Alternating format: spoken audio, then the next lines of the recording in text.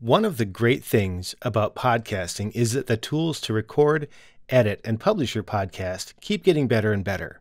Hi, I'm Bryan Entzminger. I'm a podcaster and a podcast editor at toptieraudio.com. Once you've selected a quiet place to make your podcast, you'll need a way to record yourself, and things like the Focusrite Scarlett 2i2 third generation and Hindenburg Journalist Pro make it simple to get up and running. First, connect your Scarlett 2i2 to your computer or iPad Pro using the USB C to USB cable. It's USB powered, so there's no need for a separate power cable. Then, connect your microphone to one of the Scarlett 2i2's XLR quarter inch combo inputs on the front of the interface.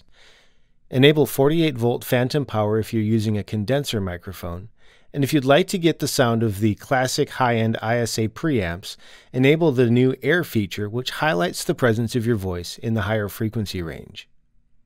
Select the interface as the input and output device on your recording software. Scarlett's gain halos make setting your levels easy. Set your recording level by speaking into the microphone at a normal level, just like you were recording your episode. Then increase the input level, the gain, until the halo ring starts to flash red. Then turn it back slightly until they glow a solid green while you're speaking. For latency free monitoring, press the direct monitor once to enable. Press it again to split the inputs to left and right channels, and again to disable. In your recording software like Hindenburg Journalist Pro, assign each channel from your interface to the appropriate track. Arm each track for recording. Simply enable the ARM button, and if you'd like to monitor through Hindenburg, right-click the ARM button and select Enable Monitoring. Then hit Record and start recording.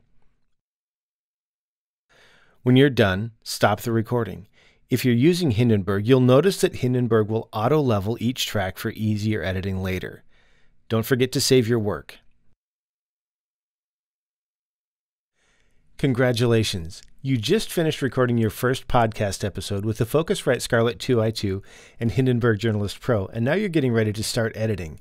Check out the next video where I'm going to give you a quick overview of the editing process in Hindenburg.